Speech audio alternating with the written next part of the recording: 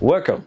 In today's video, we will talk about the fastest way to learn web development and actually get a job.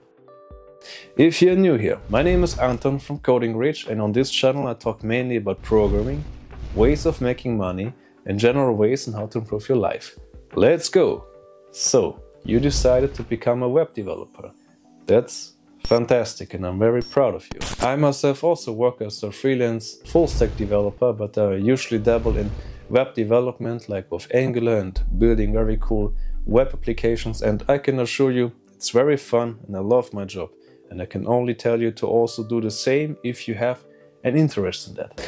But how do you actually become a web developer?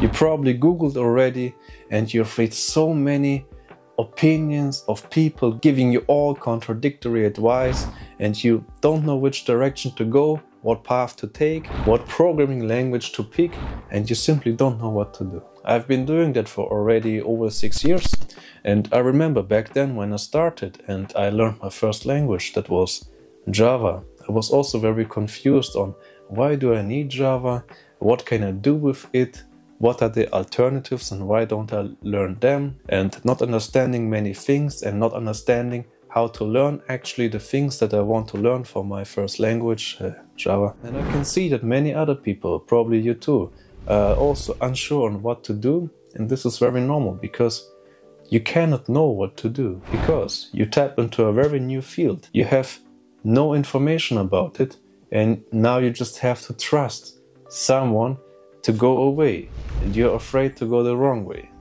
That's totally normal reaction. And after all those years, I can now assure you that there was always only one way, and there will always be only one way on how to learn programming and how to choose the right thing for you. And many other developers will agree with me on this point. The very first step you have done already. You chose to become a web developer. Now, what does a web developer do? He builds very cool websites and web applications. And that means you usually work on the front-end side. So you want to become a front-end developer. A front-end developer develops the design, develops the logic of the application that the user can see. And everything that runs in the background on the servers is the backend. Backend, background. So that's what the user cannot see. For example, the logic for when someone logs in into a website or registers at the website. Those are all the things that run in the background, in the backend service. So you want to become a front-end developer now. And the technologies always change and you're not sure what, what technology to choose from. That's very normal because if you asked me that question 10 years ago, I would give you a totally different opinion. But if you check on the job market, what is searched for? There are of course hundreds of technologies, but only a few technologies are actually paid and sought after by companies. We want to focus on those technologies because we want to learn something that has a future, that has a community, and that is also paid by companies. And there's only three technologies for the front end that are very popular right now. Those are Angular, React, and Vue.js. And those are called frameworks or libraries because they give you very powerful functions that help you to build repeating parts of a web application over and over and make it very easy. So just keep it in the background. I will talk about it in a minute. But the foundation of web development is luckily always the same and has been the same also 20 years ago. The language of the World Wide Web is HTML, CSS, and JavaScript. Those are the basic languages of the web. It has been when the World Wide Web was created, and it will always be the same. So, spend the next two months playing around with those because they are the very basic fundament of web development. With HTML and CSS, you can build the structure of the website, like where are which elements, and with CSS, you can play around with the design, put some colors in there, like move around the elements very smoothly and lots of other things. So if you just want to recreate the design of a website, you can do so easily with HTML and CSS. But when it comes to adding logic to it, maybe you want to communicate to a backend server, you want to store some data, you want to save some users, you want to implement a login function,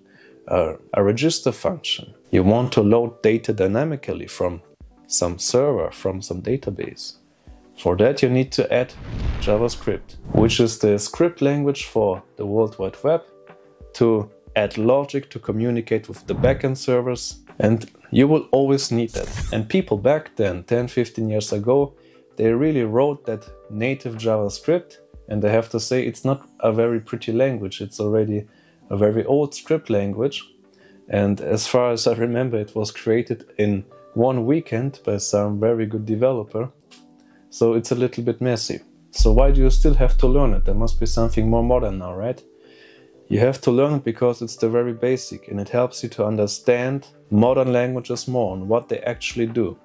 Because the things that I mentioned with Angular, React and Vue.js, they are used with TypeScript usually, sometimes also JavaScript, and they look all very easy and very logical because they're very modern. And what they actually do is all of the code that you write in those frameworks, they are then transcompiled into JavaScript. So it's just actually JavaScript in the end. And it will always be that way, no matter what modern technology comes out there.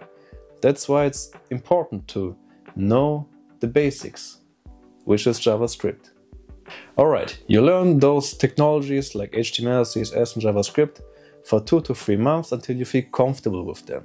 You build one or two websites, like you copy them, you clone them, and just recreate the basic functions. And now the final step is to choose one of the three frameworks that I mentioned, Angular, React and Vue.js. Many beginners choose React because it's kinda easy compared to the other two technologies. I also recommend Angular because it's very beautifully made and it's also made by Google by the way. So you choose a framework, no matter which, it really doesn't matter because later, once you get the basics, choose another one and it will be very quick to adapt to the next one because you know the actual programming already. So you choose one of them and now you also learn the basics. You learn via a book or a video course, only those two options. Please don't download any apps or use some strange websites where you play some games where you have to fill in some blankets this doesn't work. This is just distraction. You only learn with a book or a video course. You learn the basics. And then spend majority of your time to actually program. Think of some websites that you want to clone and just do it. Do it repeatedly, over and over. Or if you can't think of any ideas, just Google Angular, if you learn Angular, Angular project ideas. And then you will find hundreds of project ideas to choose from, and you choose some of them you do them, you upload them to your GitHub or GitLab account. You will learn about this later. So that way you can show off what you already know, what projects you already did, and this will act as a portfolio. So this is all you do. You simply program, program, and program. And of course, you save and upload all the things that you have done already. And if you do so for four to six months, you will be a skilled web developer already. If you do it for several hours every day without breaks, without excuses, you will become skilled in that. You will be confident in that and you will know how to create any website that you want to create. I promise that. So you do that after six months. You're very confident. You have a nice portfolio with lots of projects to show off from. And now the second step is how to actually get jobs. And this step is kinda easy compared to other jobs unrelated to programming because programming is still somehow very new because now is the time where programming got very modern. Back then it was clunky and very hard to understand. And now the obstacles are as small as ever before. And there's a technology boom. Lots of companies, they get modern, they need servers, they need websites, they need applications, and they need people to work for them. But there are not enough skilled workers in every country now. There are Every country has open positions for developers, for web developers, because there are too many companies, but not enough skilled workers. And it doesn't really matter if you don't have a degree. You're not a doctor where you're required to show off your certifications, like in order to really not injure anyone at your work. If you're a developer, it only matters that you can show off the projects that you have done. It also matters that you can show off that you worked somewhere, which you haven't yet, but that's no problem. And most important, you have to show off the immense desire to become a developer. You have to carry that burning flame inside you and show it to the potential employer. And if you do so, if you show that you're ready to work, if you show that you are skilled with your portfolio, then you will find a job sooner or later. If you live in a poor country where economy is very poor, get enough skills, build a great portfolio, and apply to companies in richer countries in Europe or North America or even in Asia somewhere. And people there very often get some skilled workers from outside, from South America, from Southeast Asia, from Africa. I've seen that all, and oftentimes those people are very good, very skilled, and very pleasant to work with. So that's all you do. You become a great developer, you become confident, you build a portfolio, you apply like crazy, you use your brain to be creative when things don't work out. It now sounds very easy, but there will be very many obstacles on the way and you will feel like giving up every week probably.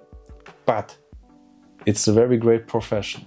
It has a very bright future. It is paid very well. You can work from home if you find the right company for that. And it's very fun. So, just follow this advice. Don't watch any other videos anymore. After you watched my video, just do what I said. Start today and you will do it. I believe in you. That's all I have to say. Please like and subscribe if you liked the video and comment your opinion or your questions and problems.